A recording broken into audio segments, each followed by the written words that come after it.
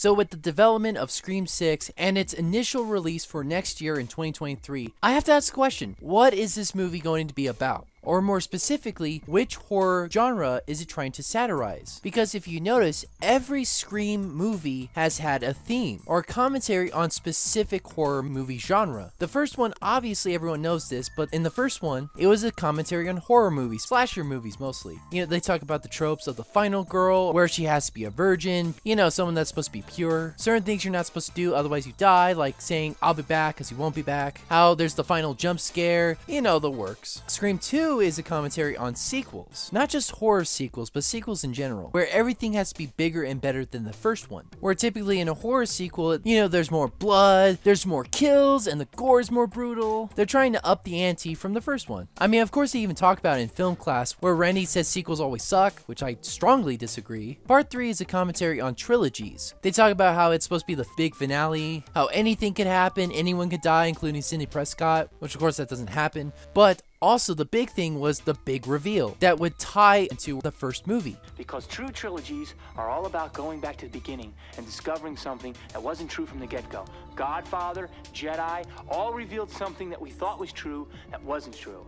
Scream 4 is a commentary on the cliches of remakes. You got your new Sidney Prescott, your new Randy, etc. The killer is even copying the same pattern of the first killer from the first movie. It's also a commentary on the obsession of social media and internet fame. If you know, you know. And now finally, this leads us to the latest Scream movie, Scream 2022. This movie is a commentary or satire of rebootquels or requels. Reboots that are also sequels. You can't just reboot a franchise from scratch anymore. The fans won't stand for it.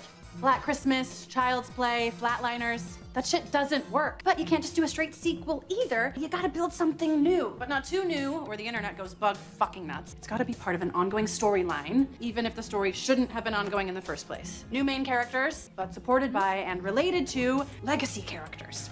Not quite a reboot, not quite a sequel, like the new Halloween, Saw, Terminator, Jurassic Park, Ghostbusters, fuck, even Star Wars. It always goes back to the original. But it's also a commentary on toxic fandom culture. Again, if you know, you know. And as a bonus, Scary Movie is not only obviously a parody of the Scream franchise, but also parodies in general. I mean, this also doubles down on satirizing the stupid choices that leads the characters to fucking die. Can I can I just say I love Scary Movie? Ghostface in that is a legend. And so I'm kind of stumped with the sixth movie. What is the sixth movie going to be talking about? I got nothing. I seriously, I, I feel like we talked about everything. Is the next one horror movie knockoffs? Is it going to commentate on bad horror movie sequels? Talking about the pitfalls and the problems that all the bad sequels have that make it shit to begin with? Well, I mean, if you have any ideas, let me know. And subscribe if you haven't.